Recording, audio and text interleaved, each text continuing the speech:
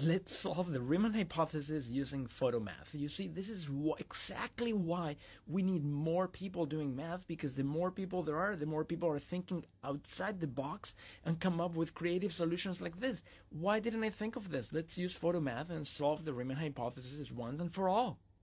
Okay, so here's my first attempt at using photomath to solve the Riemann hypothesis. I wrote in the statement of my problem on the board, find all the zeros of the Riemann zeta function in the critical strip. It does its magic, and yes, there is a match solution. There is a solution to the Riemann hypothesis in photomath, but you have to pay for photomath plus to find the solution. So no thank you. I'm not paying for extra services.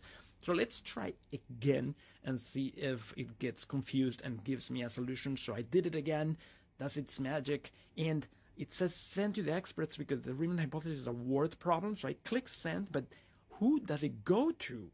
Well, that was not good enough. So I tried again, just rephrase the problem as Riemann zeta function equals zero and see if it could find solutions to that equation. And it did find a solution, but look at what it's doing. It's just calculating the derivatives of the both sides. And since the right hand side is zero, the derivative is just zero.